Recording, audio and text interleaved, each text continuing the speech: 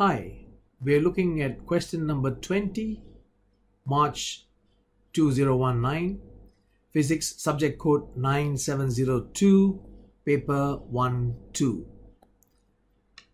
The question A spring has a spring constant of 6 Newton per cm. It is joined to another spring whose spring constant is 4 Newton per cm a load of 80 Newton is suspended from this composite spring. We have a picture here. And what's the question?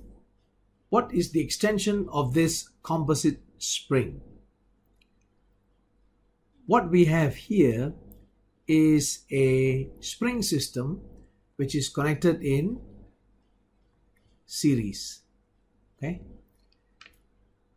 Now when you have a series connection like this, this 80 Newton that is applied here is experienced by this spring and this spring and what that means is this spring here will experience 80 Newton and this spring here will experience 80 Newton. That's what I mean. Again, when you exert a force of 80 Newton and this is a system connected in series, we are saying that this spring will experience 80 Newton and this spring will also experience 80 Newton. Okay.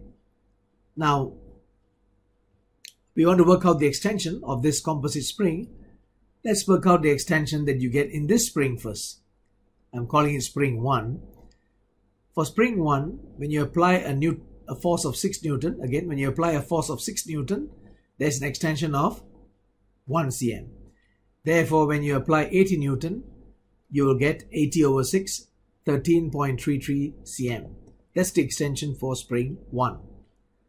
We'll do the same for spring 2. For spring 2, when you apply a force of 4 Newton, the extension is 1 cm. Therefore, when you apply 80 Newton, the extension is 20 cm, 80 divided by 4. So total extension will be 20 plus 13.33, you'll get 33.33 cm. Correct response D.